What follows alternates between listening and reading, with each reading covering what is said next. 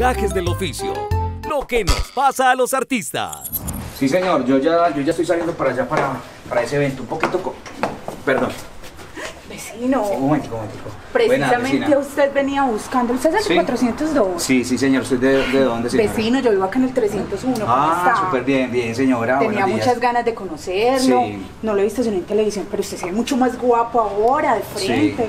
Vecino, es que sabe qué. Sí, sí, Tengo señora. pendiente un evento familiar, entonces yo requiero pues de que usted me colabore con eso, que Sí. cuadremos. No, eh, yo le voy a hablar a mi manager para que entonces eh, te llame, el manager te, te llame y, y necesito, yo voy saliendo por acá. Esta noche lo espero en mi Sí. casa. A las 9 de la noche Ma- me parece bien. ma- un permisito aquí, yo voy pasando acá. Muchas gracias. Eh, aquí, es que me Vecino, invitaron- pero usted se ve más alto en televisión. Sí, no, que es que, no, es que la, la- sí, señora, las, las cámaras lo ponen a uno así como más alto, más cierto. Vecino, entonces le parece si nos vemos a las 9? Sí, sí, sí, no. 301 es mi apartamento. Con Sí. un vinito yo lo espero para que cuadremos lo del evento y el pago. ¿Le parece bien? Sí, sí, señora, yo, yo, yo tempranito y, y, y yo, y yo, y yo paso, sí, sí. Perfecto, vecino. Entonces lo espero. 9 puntual. Sí, no, no, yo le, yo le llego a, la- a las, a las nueve puntuales, sí, señora. Recuerde que lo va a estar esperando con un vinito. Sí, no, no, yo, yo, yo, yo, yo le llego y, ahí le toco la puerta, sí, señora.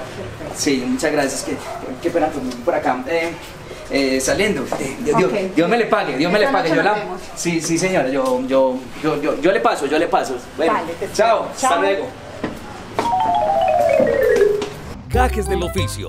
Lo que nos pasa a los artistas. Yo soy el cuentero Cosiata.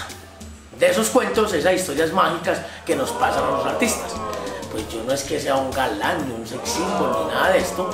Pero un día eh, salí de mi casa, cogí el maletín, íbamos para una función a coger el carro y ahí pues en la unidad salió un bocado. Una cosa exuberante, así hermosa.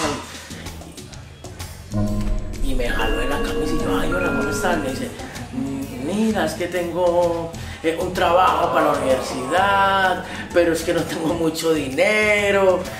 Y yo, mi amor, entonces, ¿qué hacemos ahí? Pues, y, y ella pues toda insinuada.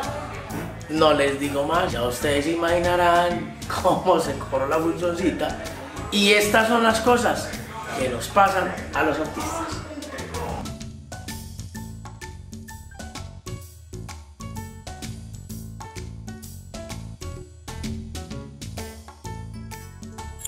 Gajes del oficio. Lo que nos pasa a los artistas.